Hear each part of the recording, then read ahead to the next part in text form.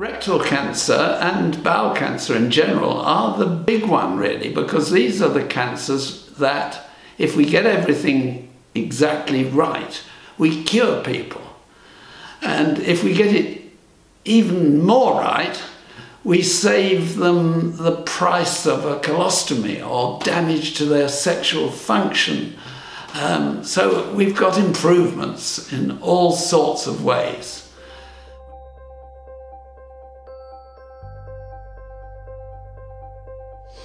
Well, the title came about because we surgeons uh, had dreamed up the idea of challenging the dogmas that seemed to be adhered to despite progress that suggests better ways of doing things.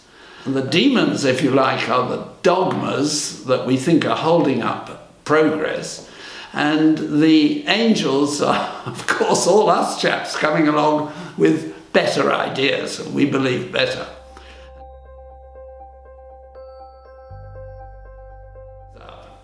We can take each branch of the management of rectal cancer in turn, and we do in this uh, really exciting conference next month. Imaging the assessment of the cancer, particularly MRI imaging, and the various new ways in which uh, we can get more information about the enemy before we tackle it.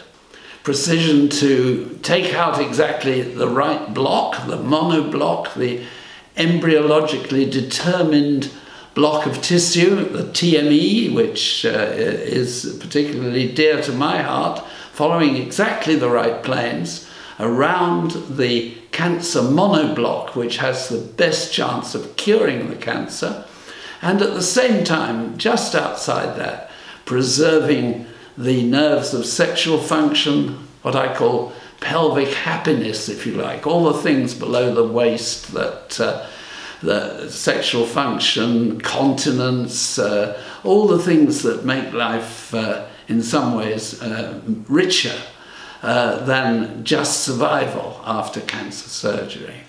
One of the biggest things is that the philosophy has developed here um, along the lines initially proposed by Angelita Habr-Gama from Sao Paulo in Brazil. She'll be here.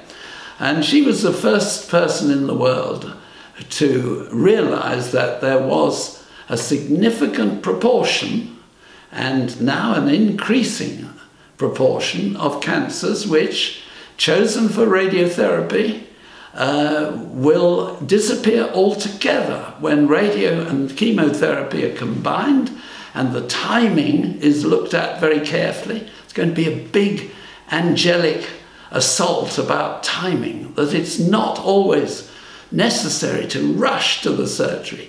Rather better wait see whether the cancer disappears altogether. Um, and we're going to advance the current evidence for that. That's another angelic attack, if you like, on, on a dogma which says we must rush, it's a cancer, we must get it out quickly. So we think that's old fashioned thinking, and, and a lot of people actually can be saved surgery altogether or operated upon with more downstaging so that the surgery is less damaging to the patient and more certain of cure.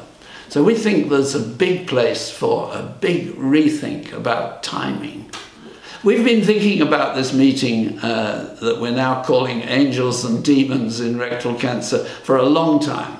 It represents really years of work and of new thinking about uh, the dogmas, the, the, the old, and what we think are perhaps old-fashioned ideas that sort of uh, slow up progress. So we'd like you to come to the Champalimaud Foundation. It's a beautiful building in the most wonderful spot at the mouth of the River Tejo uh, in lovely Lisbon, a beautiful city to come to.